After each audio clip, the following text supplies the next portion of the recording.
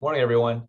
So I I first met uh, Ashish back when I was a postdoc at UCSF, and, and Ashish, he was a, a new professor uh, at UCSF, and at first we didn't really interact very much.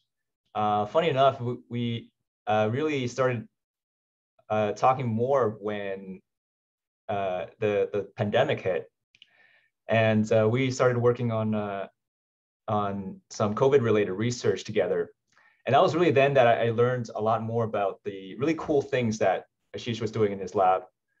Um, and in the short time that we worked together, I learned a lot. And you know, these things that I've learned uh, has really influenced some of the work that we're doing now. So I'm really, really happy to have Ashish here. Um, I guess I'm supposed to also read off some of his uh, awards and accomplishments to kind of uh, show you how impressive he is.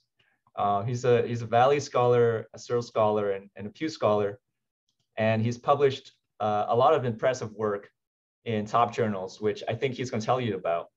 So, uh, Sheesh, welcome, and uh, great to have you here.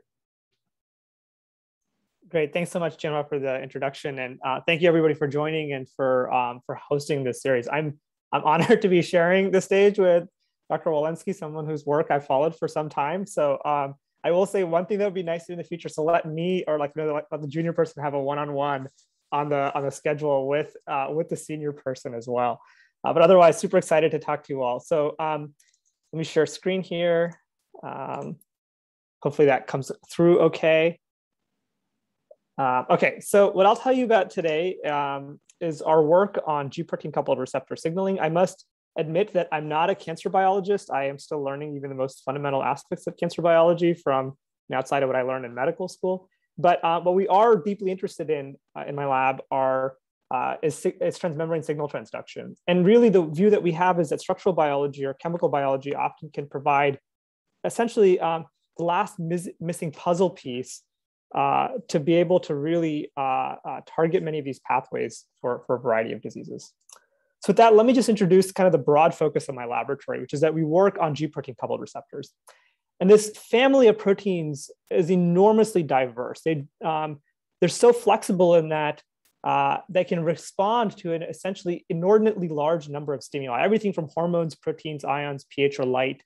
Even force itself can activate one of these receptors. And that one of these, when these stimuli activate one of these receptors, that then leads to a, a shape change uh, on these receptors that, that then is read out by a whole cadre of uh, slew of uh, signaling proteins inside the cell. My lab is deeply interested in understanding how these receptors work at the atomic level with the hopes that we can manipulate the function, the conformations of these receptors and thereby their function. Now it turns out that GPCRs are inordinately important for almost all of human physiology. And here's a dendrogram just of the about 400 or so non-olfactory G protein coupled receptors that are in the genome. So I'm not going to have you read out the names, but but suffice it to say that these receptors control almost every aspect of human biology, everything from how you think, um, your metabolism to uh, your vision, your neuromodulation, how your immune cells talk to each other. Uh, all of this and much more is controlled by the G protein coupled receptors. So my lab has a broad interest in trying to understand a whole variety of receptors, not just in cancer biology, but cross-cutting across many aspects of, of modern medicine. But what I'll tell you about today is one particular area where we've taken a lot of focus um, to understand a pathway that's critically important in human development, but also goes awry in cancers. And that is the hedgehog pathway. So just as a quick recap, the hedgehog pathway was discovered almost 40 or so years ago in a classic genetic screen looking for um, um, key uh, molecules that could influence uh, development. And uh, what Eric Weishaus and Christian Nusslein-Volhard in this very um, classic study discovered are mutants uh, that had uh, a defect in the normal uh, body patterning of Drosophila larvae. And, and what they, dis- they discovered was a set of uh, genes that basically led to a so-called hedgehog phenotype, where these little cuticles basically have, um, you know, don't have this patterned, very clear uh, segmented pattern. This then, you know, basically looks like this cute little furry animal, which is a hedgehog, or for those of you who grew up in the 90s, like I did, you know, this, this great video game character, Sonic the Hedgehog. Okay, despite the cutesy name, hedgehog biology is absolutely critical for normal, normal development. So for example, the developing limb bud, uh, the hedgehog gradients define which side will become eventually become the thumb or the pinky. And similarly, in the developing animal, hedgehog gradients will define what will become either the anterior or the posterior part of your body, your head or your toes. In adult tissues, dysregulation of hedgehog signaling leads to uh, important cancers. The most, the most uh, be the best example of this is basal cell carcinoma, probably the most common cancer in all of North America. Not the most lethal, but certainly the most common.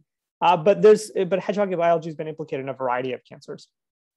So we've been interested in you know, really the nitty gritty aspects of how this pathway works. And although this pathway was discovered almost 40 years ago, it's amazing that some of the most fundamental mechanisms still remain a little bit unclear.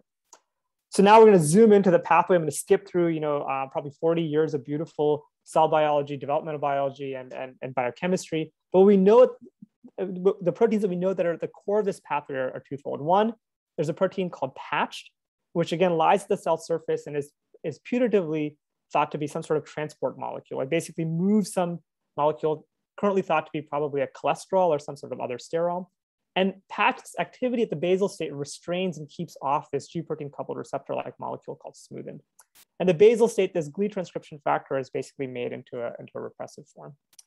Now, when the hedgehog ligand or the morphogen binds to patched, the proposal in the field is that hedgehog inhibits the function of patch, or whatever this transport activity is, that releases the inhibition on smoothen, smoothen then turns on. This then inhibits the activity uh, of some sort of, uh, of the conversion of GLI to a suppressive form, and then GLI goes on and does a bunch of stuff inside the cell. But fundamentally, we don't understand as a field what, what really, uh, what is at the core of this pathway. We don't understand the exact substrate that's transported by patch. We don't understand how precisely hedgehog inhibits patch function. And probably what's one of the most critical mysteries for the field is how does patch have an action at smoothen at a distance. So how does patch actually regulate um, smoothened activity? So we've been deeply interested in this problem. And one of the things that I'll tell you about today is our work to understand how smoothen turns on. And this was something that um, really had perplexed the field and, and, and we think that we made an important contribution here. Now, in order to understand how membrane proteins work, um, we have kind of a framework that's developed out of a lot of work that I did in the past as a graduate student, along with many other people in the field, which is that uh, G protein coupled receptors, this is probably true for most signaling proteins, are really complex molecular machines. Uh, and, and what this slide is meant to highlight is that while we used to think of receptors as kind of bimodal switches, things that you could turn off, kind of like a, turn on or off, kind of like a light switch, what we now know is that receptors, when they're activated, are incredibly dynamic uh, proteins and they occupy a very large conformational ensemble. Now, the challenge for the, the challenge that this presents is that if, you, you're interested in, in the structural biology of signaling proteins in certain GPCRs, you can't just go look at the, you know, look at um, something directly. You, what you really need to do is be able to trap one of these excited states in order to understand how a protein functions. That's been a really big, a driving force for the kind of work that we do in my lab. We're interested in trying to understand active conformations of these receptors in order to understand how they signal with that, we're also really interested in building bridges, not just you know uh, trying to understand things at very much at the structural level, but trying to bridge uh, our structural understanding with what happens at the cellular level. And again, the notion is that um, what has happened for a lot of structural biology to date is the ability to look at uh, low-lying or you know relatively stable energies of uh, you know energetic states of proteins. These are the ones that are either crystallizable or imageable by cryo-EM. But really, what we're after are these active states or intermediate states that are important for, for activity. So the technique that we do, that we take to, to try to interrogate uh, these dynamic proteins um, is to raise these miniature antibodies called nanobodies. And the simple idea is that if these receptors are relatively dynamic, uh, what we can do hopefully is raise an antibody that captures that excited state and brings its energy down, amenable to then structural biology. This is a little brief primer on nanobodies. We think these proteins are fascinating. I'd love to talk to you more about them. Uh, this is on the left, a structure of a conventional antibody that's flowing in your blood or my blood. And antibodies are pretty complex molecules. They're composed of a heavy and a light chain. And the business end of, it, of an antibody is kind of this interface between the heavy and light chain that then can bind essentially any antigen. It turns out that um, llamas, alpacas, and other camelids make these miniature antibodies called nanobodies, which are just the VH domain uh, of, of a heavy chain. And these nanobodies are amazing because they're small single chain proteins that are ultra stable. They're not glycosylated. Uh, and they're similar enough to human antibody heavy chains that, uh, that they're usually not recognized as foreign by the immune system. Here's just a comparison of the business end of an antibody versus a, a nanobody. This is an FAB fragment, again, composed of about six loops that can basically bind to any antigen, whereas nanobodies have you know, um, um, three loops that can deeply get inside small proteins. Now, the classic way that nanobodies are discovered is to basically have your antigen of interest and immunize an animal. Uh, and over the past couple of years, working with Andy Cruz's lab at Harvard, we've tried to devise new approaches to find nanobodies without having to go into animals. So the idea is, is generally laid out in this slide. Uh, what we do is we, we um, try to generate new libraries of nanobodies that recapitulate the immunological diversity of an animal. And here what we've done in the past is basically taken deep sequence data sets from uh, dozens of animals. And then we basically generate a yeast displayed library of nanobodies. And these libraries are very large, about 10 to the ninth or billion individual clones. And the experiment is as such. We have now a pool of yeast where each yeast displays a unique nanobody on its surface. We can then go fishing in this library to find a nanobody that binds to essentially any antigen. And the, the way this works is that we have an antigen, for example, labeled with uh, a fluorophore uh, or a magnetic bead, and we can basically pull out those nanobodies that bind to our antigen of interest, discard the non-binders, and basically um, do this process iteratively. So this, so this idea, you know, generally works for a variety of antigens, but what we wondered is could we use these approaches not just discover binders, but nanobodies that would distinguish between different conformations on the same protein. Uh, and this is a project that, that was then led, led by Ishan Deshpande, a postdoc fellow in my lab, as well as Jiehao Liang, uh, uh, research technician. And we applied this to the smoothen receptor, again, looking for nanobodies that would bind to the active state of smoothen and, and, and trap it for, for, for, further study. So we did it started with a, an antibody library of about 500 million variants and progressively over multiple rounds looked for nanobodies that would bind to this smoothened protein only when it was loaded with an agonist, this case called a molecule called SAG21K, but not when it was bound to an antagonist called cadcyclopamine. And we can get into the details later, but, but after doing this procedure, we, we were able to identify about 11 unique clones that do this.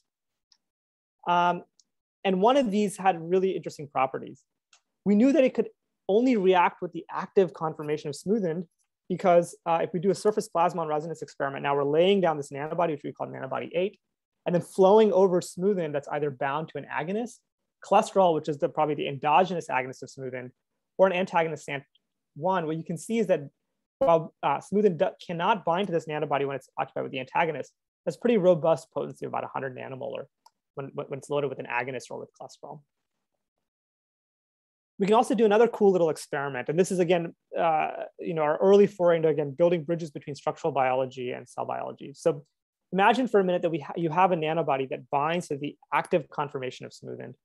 What we can then do is basically link up one of these nanobodies to a just a simple GFP, express it in a, in, in a, in a relevant cell line, and then test whether if the pathways turn on, what should happen, the nanobody should recruit from the cytoplasm to the plasma membrane.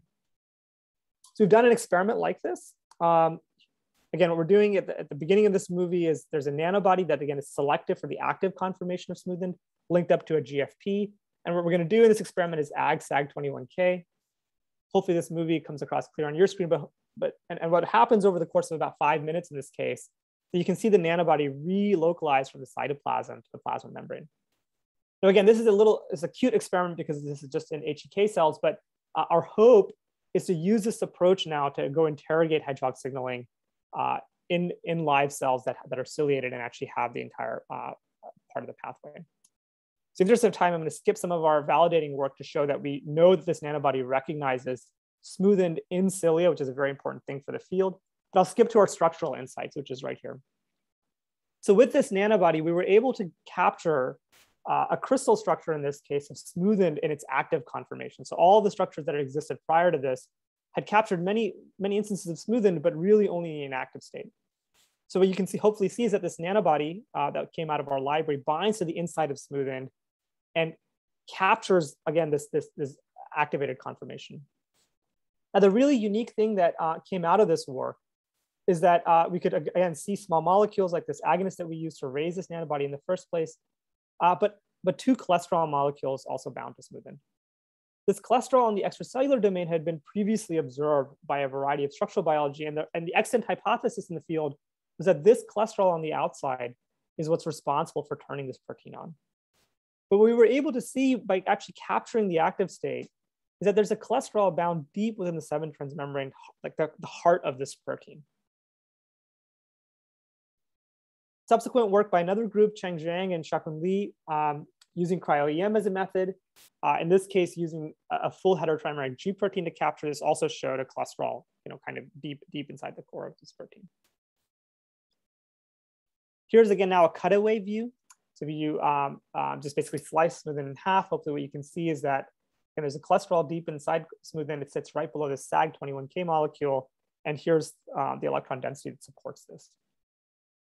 Now we, we wanted to test whether uh, we're on the right track, whether this cholesterol bound within the seven transmembrane domain was really critically important for the pathway activation. What we could do is design mutations that basically be predicted to abrogate binding of this cholesterol. And uh, what we could see is that the pathway could basically completely not turn on. This is absolutely critical because it tells us that this, um, that this locus for smoothin binding is probably the direct site of action where, where, where patch actually acts. Now, what does this tell us about um, the existing drugs that are on the market to treat a variety of hedgehog pathway-driven cancers? So for, for at this point, there's at least three, uh, two for basal cell carcinoma and one for uh, a blood cancer that's uh, where hedgehog uh, biology is implicated. And, and before this, before our work, it was a little bit unclear how these drugs um, actually had their mechanism of action. So I'll get into a little bit about the chemical biology, what we've learned uh, there. Uh, but before that, I want to highlight one very interesting thing that, uh, that, that, that, we could uh, rationalize, work, previous structural activity relationship work that we could rationalize. So this is again the SAG21K molecule in our structure, and this is a cholesterol molecule. What people had previously observed is that if you took um, this functional group right at the end, uh, end of SAG21K, if it's a methyl, this molecule behaves as an agonist. But if you simply convert this methyl to an ethyl, a propyl, or an allyl group, just increasing the size at that position, um, that dramatically converts the efficacy of this molecule from an agonist to an antagonist.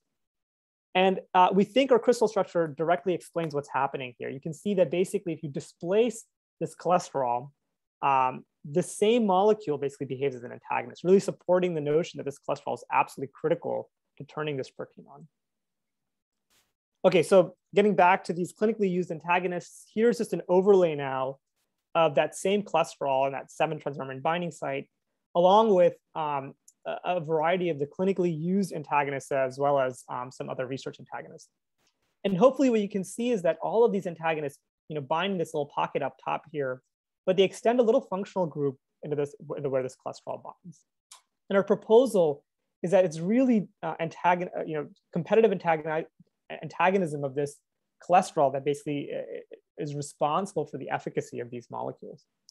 Now, a couple of years ago, uh, groups out of Stanford, out of Genentech, basically looked at what drives resistance in patients that get, for example, vismodegib or other smoothin inhibitors. And what they, uh, what they identified were a variety of mutations that basically we've been able to map uh, localized right at the top of this pocket. So they, again, leave the cholesterol binding site for smoothin intact, but they basically abrogate binding of these inhibitors by targeting this, this allosteric pocket. Now, it turns out that Phil Beachy's lab about, um, you know, now almost about two decades ago had uh, discovered a smoothin antagonist from a very small screen called, and they called it SANT1 for smoothin antagonist 1. Uh, and we predicted that perhaps this molecule SANT1, because it doesn't extend in this allosteric pocket where again, uh, resistance mutations arise, might actually be functional at, uh, uh at some of these uh, resistance mutations for smoothin seen in the clinic. And that's data shown here. So this is again just um, a, a, graph showing pathway activity for the wild type protein. Again, the pathway turns on if you add hedgehog. You can turn it off with the clinically used antagonist vismodegib or this blue antagonist SANT1.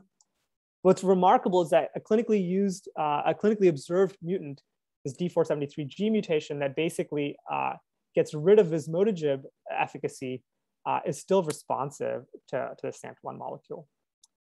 In addition, another constitutive, uh, constitutively activating mutation in smoothin uh, is basically very minimally responsible to, uh, vismodegib, but, uh, but SANT1 retains activity. So at this point now, we're uh, engaging in, in docking campaigns, computational screening campaigns to find molecules that basically only overlap with the cholesterol molecule with the hopes that these might be really good inhibitors of smoothin, but perhaps don't have the same liabilities for resistance that, uh, that, uh, that clinically used antagonists have.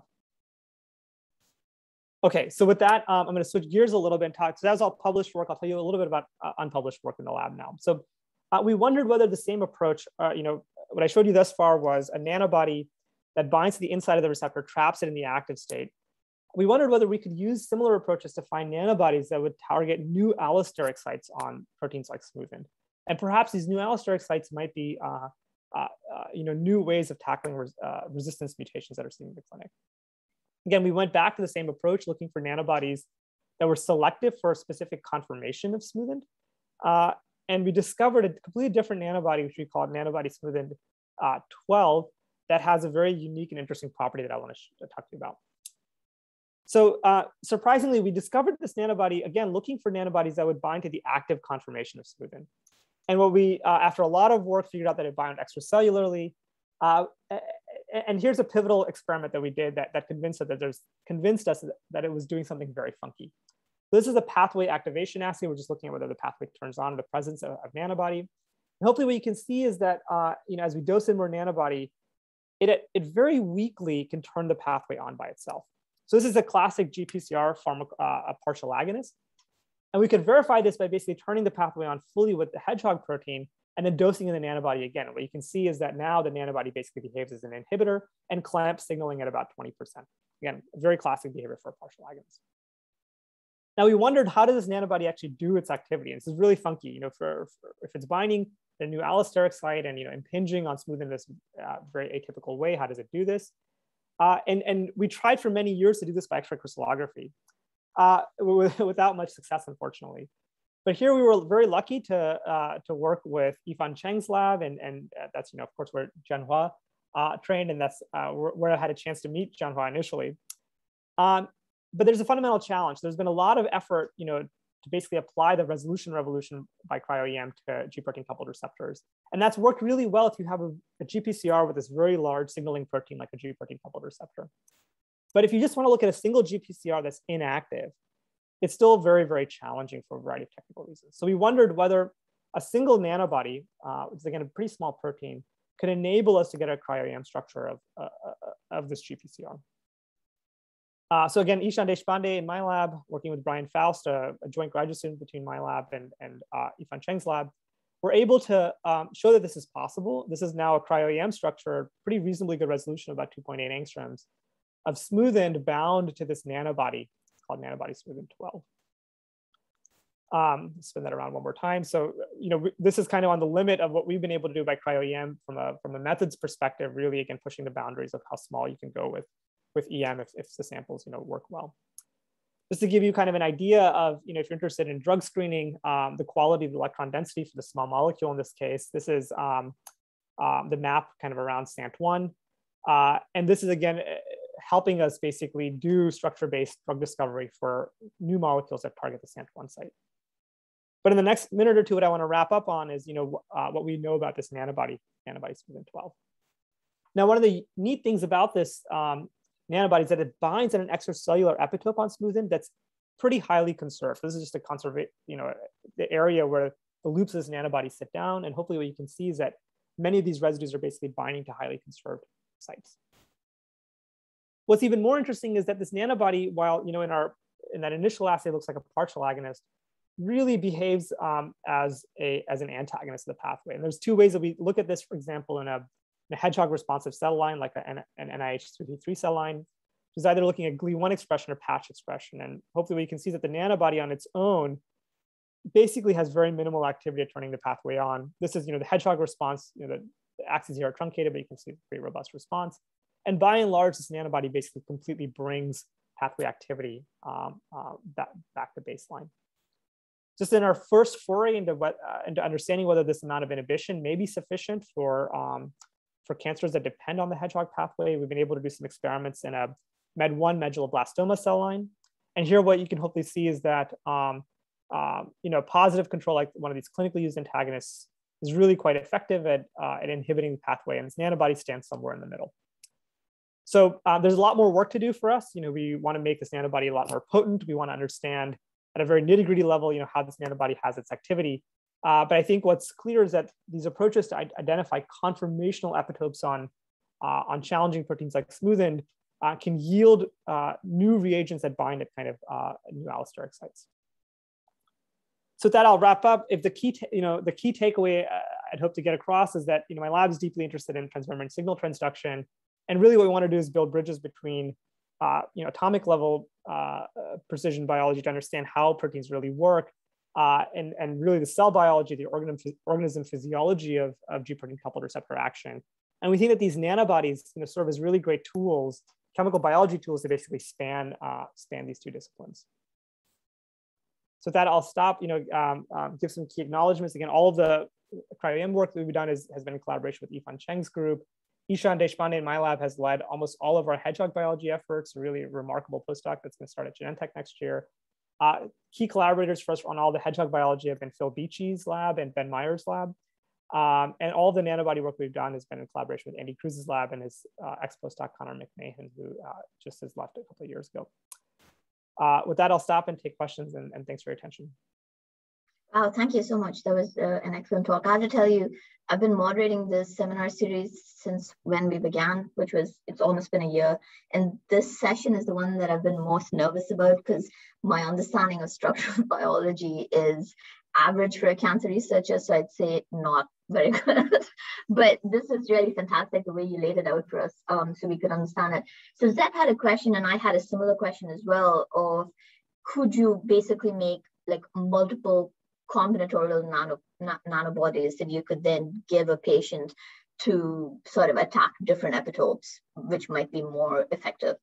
In yeah, I love this idea. Um, so one could think about doing this in, in various contexts, right? One idea could be um, to develop so-called biparatopic nanobodies in the same protein. So, you know, nanobodies actually hit two different sites. And um, perhaps not for cancer biology, but there's been a lot of effort to do this for, for, um, for developing nanobodies to, to uh, inactivate the spike protein of the SARS-CoV-2 protein. So you know if you have two nanobodies that target different sites, if you develop resistance against one site, perhaps it's less likely that you'll develop resistance against multiple sites. So that's one way to think about it. Multiple nanobodies start targeting the same protein. Um, I, I, think another way of thinking about this is, um, you know, modular nanobodies as modular handles for for getting specific, uh, getting tissue specificity. So you could have, you know, for example, a module that um, manipulates signaling, but then, you know, a targeting module that basically, um, you know, increases uh, the surface you know, activity at a, at a given uh, cell type or something along those lines. So we're interested in both of those. Um, uh, the former is a little bit easier for us to think about. The latter is a little bit harder because you really have to know, you know, what a what a good um, um, cell type selective epitope is.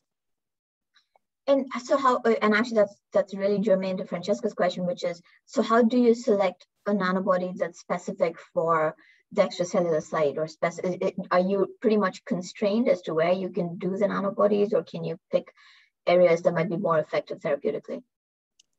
Yeah, great question. So, um, you know, it, it, really depends on how you set up these screens. Most of the screens that we've done um, have been with purified proteins because, you know, that for structural biology work, we're, we're, we're pretty effective at it.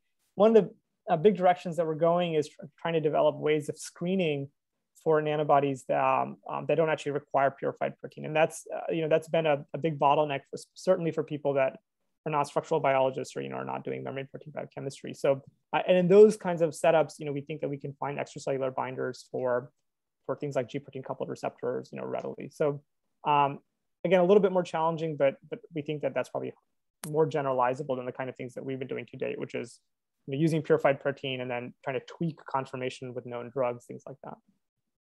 Um, yeah, eh, yeah, really fantastic seminar. Um, I have one last question. You know, I try to keep this part short so that we then get Lawrence as well, and then we can have the panel discussion, which is mm-hmm. always the most fun part of these.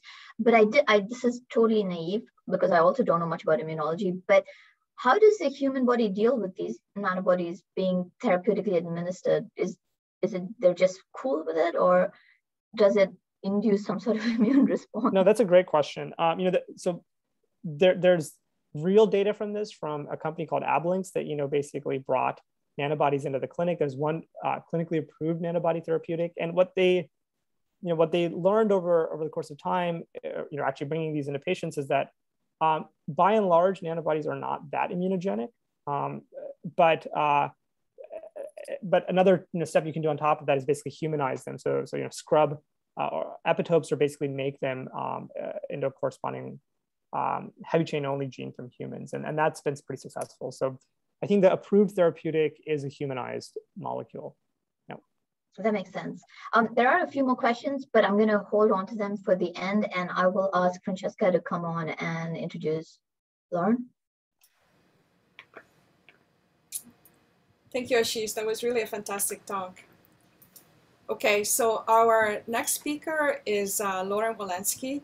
Um, Lauren is uh, professor of pediatrics in the Department of Pediatric Oncology at Children's Hospital in Boston. And um, he's also a member of the Dana-Farber Cancer Institute um, within the Harvard Medical School. Uh, so I have followed uh, Dr. Walensky's work for many years now. Uh, he's done some really beautiful work on uh, programmed cell death. His um, laboratory really did some of the very seminal work on understanding how um, proteins cycle from the cytosol to mitochondria to, to regulate programmed cell death. And um, he's developed very interesting tools, including things like uh, stapled peptides, stapled BH3 peptides in this case, that um, are act as um, chemical probes of programmed cell death, uh, as well as prototype uh, therapeutics. That was a, a, really great comprehensive presentation, and I love the idea of activating back. That's that's crazy. Um, I know Francesca had a question, so I'm going to let her ask you the question herself. Yeah, I, I have the same question that Guy Salveson has. so, so, first, let me just say, really fantastic talk. It was a great presentation. So, so the question is related to BAC. Um, and uh, so BAC is thought to be constitutively associated with the mitochondrial outer membrane through helix 9. Uh, and so do you think that the same kinds of mechanisms uh, that you described for BACs are also operative for BAC? you know, I think that there's going to be some overlap, but I think there's also some things that are different. So, for example, um, you know, BAC does not need to be to undergo ligand triggering to move it from the cytosol to the mitochondria, because as you point out, it's constitutively there. So when we, you know, used our stapled peptides to try to understand uh, BAK activation, um, we never saw interactions, you know, at the N-terminal face, we saw interactions at the canonical location, you know, at the C terminal face. Um, and interestingly, if you take off the C terminus of BACs, you know, kind of simulating this idea that C9 has popped out and it's inserted into the membrane, then we also saw our, our stapled peptides bind to the C terminal pocket in BACs. So I think that there's compatibility, um, you know, at the C terminal face but that BACS has this extra step because it needs to move and translocate from one cellular compartment to the other. Now, once BACS is at the mitochondria, I, I would suspect that there's a lot of similarities for how the execution phase uh, occurs. So um, just as a follow-up then, how might something like, uh, how, how might an anti-apoptotic protein then interact with either BAC or BACS to protect? Yeah, I mean, I think that, yeah, I mean, the current understanding would be that, you know, the release of the BH3 um, is critical for propagation of BACs and BAC activation. And so that the mechanism for, you know, suppression of BACs and BAC is trapping that helix into its canonical groove and just preventing this whole auto activation mechanism, right? Because the auto activation requires, you know, BH3 um, exposure, like we showed for BACs, you know, in, in what I discussed today. And so if you arrest that process, then you stop the self-association and then you stop the membrane disruption. So uh, and that certainly seems to be how and why, um, at least in part, these anti-apoptotic inhibitors function so well. Not only by disrupting complexes between, you know, the, the, the BH3 only proteins and survival proteins, but also between activated conformers of BAX and BAC um, and survival proteins. Thank you, Lauren.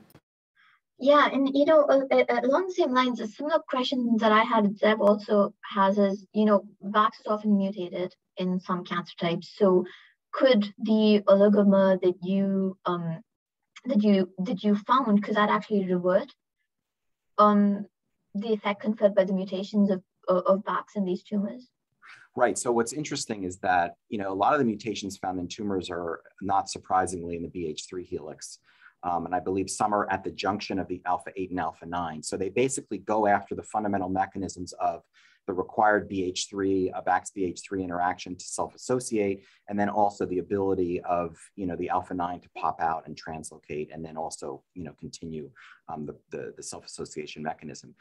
what what's been interesting for us now that we can like you know apply a detergent to BACs and form this you know relatively stable homogeneous species of BACs is that we can go into these mutations now and start to ask okay can that mutation does that mutation actually block oligomerization or is that mutation blocking triggering you know, and, and do some of the experiments that I showed you where you can start pulling apart different mutants and ask the question, is this an initiation problem? Is this a translocation problem? Is it a self-association problem? Or is it a permeabilization problem?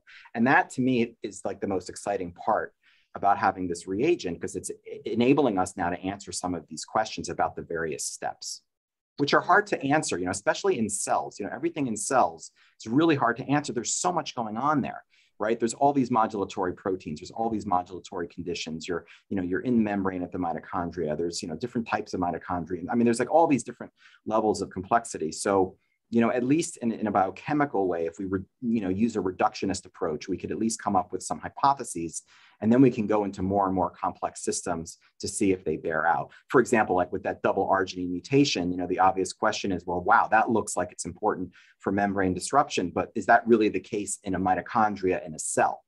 So then we were able to do the recon work and say, wow, like it almost worked better than we thought it would right? Like it was almost like you knocked out the protein altogether. And yet the protein was there, it translocated, it self associated, it just didn't um, destroy mitochondria. So that was like a new interesting you know, finding for us. And so those are the kind of studies I think that you can do now. Yeah, and I think you know, sort of related to that, to the complexity in the cell, especially for pathways like BAX back, you know, P53, because they're regulated by so many different moving parts, right? So the efficacy of this type of drug. So for example, Christina had a question which I think relates to this, which is what do you think is the relative significance of the direct BH3 only, the direct activating BH3 only proteins versus the ones that work indirectly by neutralizing um, the anti-apoptotic proteins? Like how is that going to play out in terms of the efficacy of using this treatment approach? Yeah, I, it's a great question, and it also, you know, and then the corollary to it is uh, Jordan's question that I see in the Q and A as well. So, you know, to me, this is the fundamental issue around the drug development, and I think that the patients have given us the answer. So, for example, if you've got um, so, so the short answer to your question is I think it's very clear now that both are operational.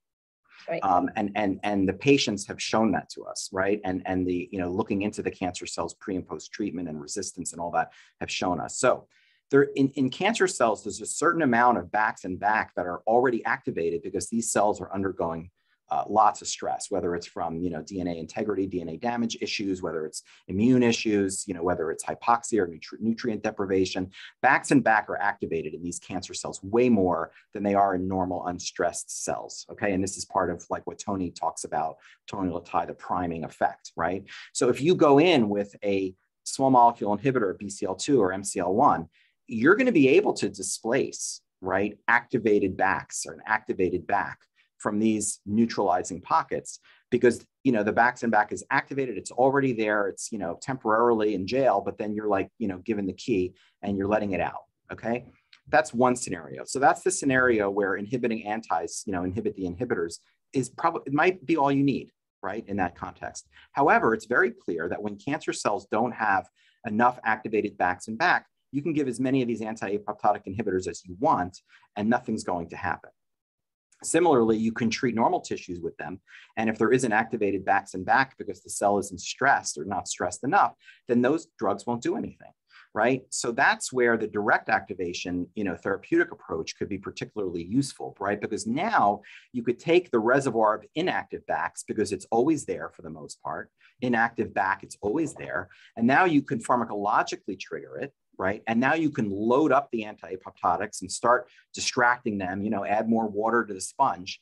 And then all of a sudden, if you either either that would be enough to overload the system by by just you know outlasting the anti-apoptotic reserve by turning on more and more backs, or you know you set up these complexes. If there's a lot of anti-apoptotic reserve, you come in with your anti-apoptotic inhibitor that didn't work before. Now all of a sudden it's going to work great, you know, in combination. So I think the fact that you know these experiments have now been done and these phenomenon have been shown you know between you know sensitive venetoclax sensitive cancer cells venetoclax resistant cancer cells and then normal tissue cells and you see the different responses in the three types of tissues you know these experiments have now been done this is a multi uh, you know dual kind of you know, it has two parts to the mechanism. It's got the, you know, inhibit the inhibitor part, and it, it's also benefits from the activate the activator part. And it really just depends on what the wiring is um, in the cell. And then going back to Jordan's question, which is, you know, isn't turning on BAX, you know, maybe inhibiting an anti-apoptotic protein, maybe that sounds a little safe,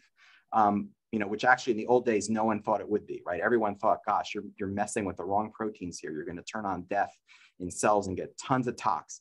Um, so now that we've gotten, you know, folks over the hump on that, you know, that inhibiting anti-apoptotic protein, anti-apoptotic protein isn't going to be like something catastrophic. Um, you know, the answer, the next question is, well, isn't turning on BAX? That sounds way more aggressive, right? And, and the answer to that, from my perspective, is, is that what's killing the cells when you inhibit BCL2 with venetoclax? Fundamentally, it's not inhibiting BCL2 that's killing the cell at all. It's the release of activated forms of BAX, or it's the release of BH3 proteins that then go ahead and activate BAX. So the thing that's killing the cell, whether you whether you're using an anti-apoptotic inhibitor or a BAX activator, is the same thing. It's activated BAX and it's activated BAK. So you know we we would expect the toxicities or lack thereof to be the same. And in fact, when Everest Gavitheotis did these experiments in mice, you know, and, and treated with direct BAX activator to to nuke these AML cells, did not see um, tissue toxicity and apoptosis induction or caspase 3-7 activation in the normal tissue, but saw it in the, in the cancer cells. So, um, you know, it's an interesting system. And um, I think it does pharmacologically benefit from tickling both sides of the equation, which is why, you know, my personal view is, is that, you know, there's been a lot of attention, you know, on the anti side, but I think there's a well of possibilities that, that, that can be mined on the pro side as well, especially as we figure out like how they work like how these proteins work. They're more complicated. They're hard to make.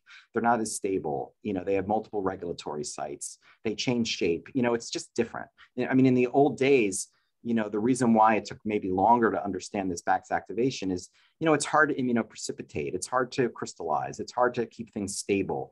You know, a lot of the techniques that we use to study BAX activation were not the standard techniques that you would use um, you know, for goodness sake, like just to get a calculated model structure of that interaction, we had to do the, you know, make the ligand weaker so that it would bind but not be so aggressively changing backs in the NMR tube, and then use the paramagnetic relaxation enhancement to try to grab distance information over an hour or two period. You know, very different than just mixing two things that bind at femtomal or sit it down there, let it crystallize or immunoprecipitate. Just very different methods to try to figure it all out. So, you know, it's taken longer on the pro side and I'd actually like to get Ashish to um, comment on this as well. But what are, what do you think is the future in terms of potentially combining the nanobodies, for example, with things like these uh, uh, BAK activators, so that you're actually getting it into the cell that you think is driving the cancer, you know, in in this hopes of doing the sort of nuclear bomb drop off and killing those cells, right? Is that something that we could do, like we do with the conjugated antibodies now?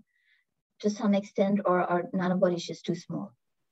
I don't think there's anything unique about nanobodies in this case. You know, for most antibody conjugated drugs, um, you know, if that was an approach that made sense for you know targeting, for example, um, whatever you know specific small molecule that comes out of that work, um, I think you know there's already kind of a, a, known chemistry on how to do a lot of the antibody drug conjugate work, and I, I think you'd really just want to plug into that.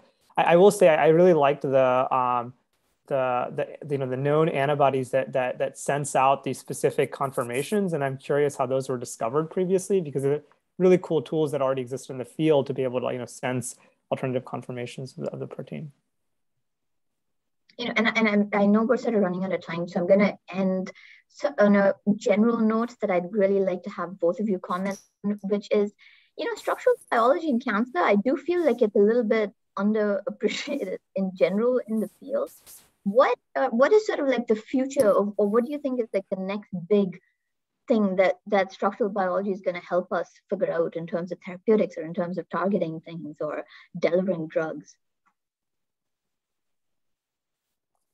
yeah, I can go first. I mean, I, I, think there's now plenty of good examples of where structural biology, you know, has really led to um, the discovery of small molecules. And I think vemurafenib is probably one of the best examples of, you know, really um, structure based you know discovery really at its finest. Um, but there's you know increasingly more examples of that kind of in a more classic sense of you know target and um, applying you know a variety of chemical biology uh, approaches to discover molecules. I think what's exciting to me is um, uh, you know the ability to use cryo-EM to get structures of very dynamic large proteins and you know the kind of stuff that Jianhua here I know here is doing um, to try to actually isolate these from native tissues or you know from from cells with with a lot of other binding partners. I think that kind of stuff could reveal true you know, new allosteric pockets or, or combinations of proteins that you know you couldn't try to just reconstitute de novo. So to me, I think that's where, where a big direction for structural biology and where it can make a lot of impact might be.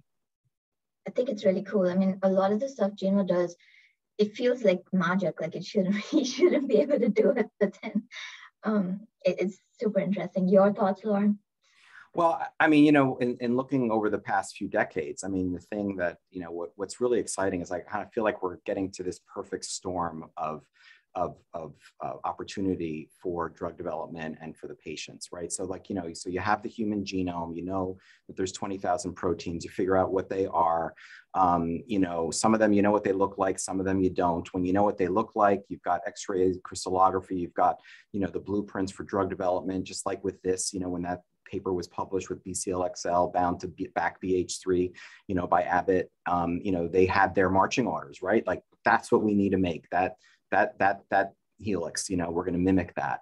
And so that led to you know SIR by NMR type drug development at that time. You know it took a long time but now you know without those structures right you need that starting point. So i kind of feel like you had the the genome the proteins and then this big lag you know trying to figure out like what are these bad cancer targets like you know MYC and RAS and, and you know all these things like what do they really look like so that we can make drugs and so the ones that had structures you know, they came first, but now all these other ones are coming online. So that means you're getting more and more blueprints, more and more marching orders for companies and academics to try to make compounds. Now you layer on top of this, um, you know, AlphaFold and uh, people using AlphaFold in combination with cryo and all sorts of, you know, mixing and matching to try to get as much data as they can. Then you add that to all the virtual screening, you know, for small molecules that's going on. So you can do real screening and then you can screen, you know, 5 billion compounds you know, on the side as well, um, and, and start drug development that way. And, and at the end of the day, what's the end point? It's like to try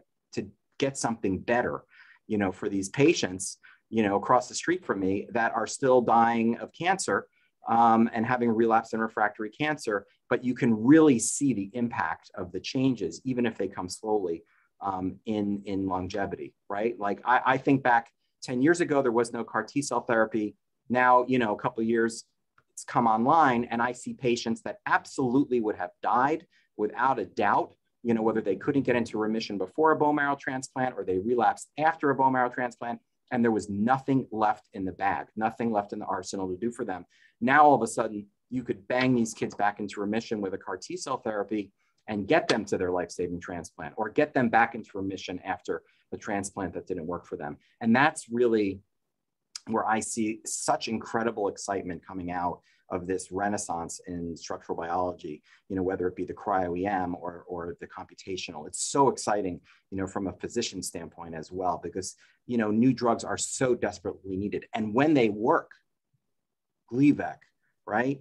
Venetoclax, right? Kinase inhibitors, you know, and you give it to a patient that's otherwise having a cancer growing out of control in their body and then all of a sudden it melts away like wow right and if you can do that you know over and over and more of it you know that that's kind of what to me this whole renaissance is going to bring us hopefully i think that definitely speaks to the hearts of a lot of the peers at Burnham as well so um, all right, I'm going to let everyone go. Uh, thank you, everyone, the panelists, but also the participants for staying on because I know I know we went on a little bit further than we should have, but um, glad to see that everyone enjoyed the discussion.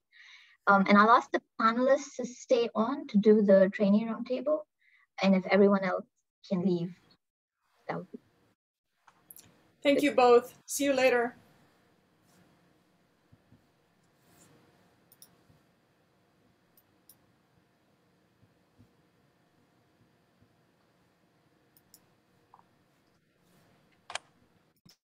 thanks for to both of you, uh, Lauren and Ashish. That's a that's really cool stuff. Um, actually, I just want to follow up, uh, Ashish, with the, the nanobodies. You know, I've heard of that.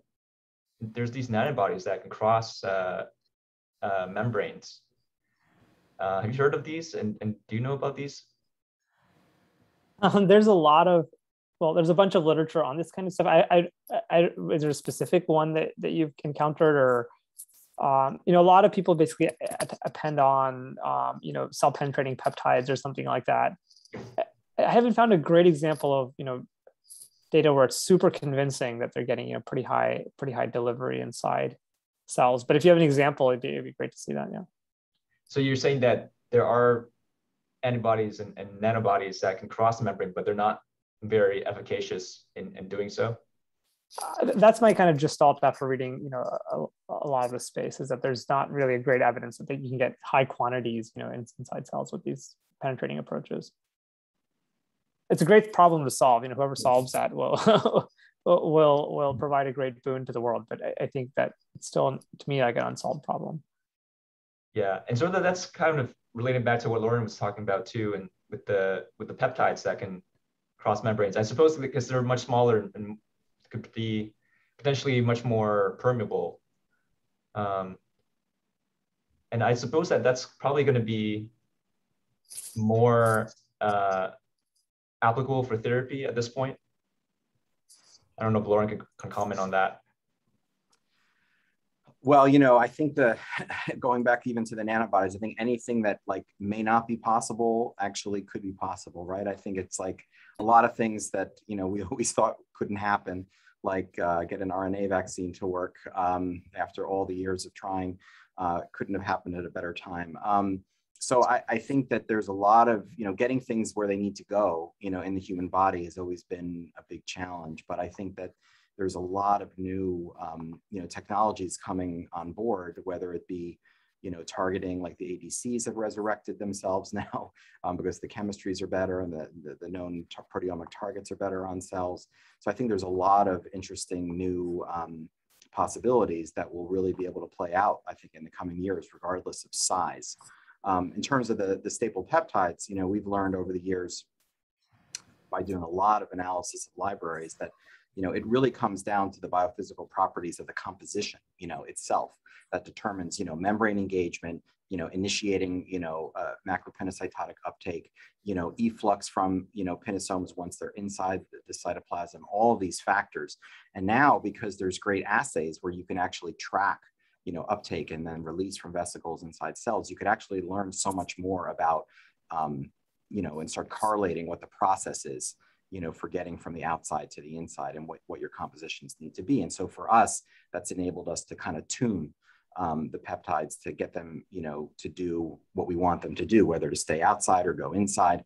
Um, and, it, it, it, ultimately comes down to molecular composition. Um, we recently, you know, did a, some work on antimicrobial peptides to try to understand, you know, they're so effective at, at, at, at um, you know, at, at, at, blowing up bacteria that are otherwise, you know, very resistant to, to multiple drugs. And, you know, but one of the problems is it's been hard to get them into a selective mode that you could actually use them inside any species because they cause hemolysis, they cause proximal tubule epithelial lysis and kidney damage. Um, and so we just asked the question, like, is there a way to design these things so that they are selective for bacteria and not you know, mammalian cells. And by making libraries and, you know, literally doing experiments where you screen them against red cells, screen them against bacteria and ask, you know, do they, do they kill one, the other, both or neither? And then when you get your buckets of results and you get ones that are selective for bacteria, then you stare at them and study them and say, well, what's so special about these?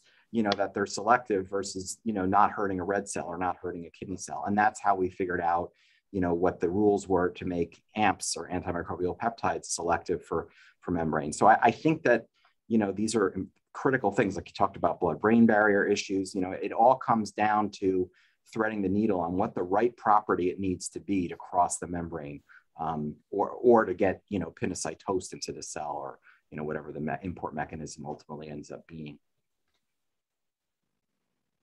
So, you know, along these lines, some of the early experiments on antimicrobials were using, were comparing things like uh, L forms and R forms with the thinking that the R forms would not be um, would not be effective in um, in human cells. And have you tried anything like that? Oh, oh, you mean with the amino acid? Uh, yes. what, what, the, what the enantiomers were. We, we've yeah. pretty much been working with the, the natural um, amino acids, so I don't know. But um, what, what we have, you know, really tried to dissect is like, what are the differences between you know, the compounds that are selective or not, and then what does that tell us about what, you know, confers lysis versus what protects, you know, a cell from lysis. And, um, and then once you have that information, then, you know, you could start doing it in a proactive way and start designing things into your peptides as opposed to kind of deconvoluting after the fact. Thanks, Lauren.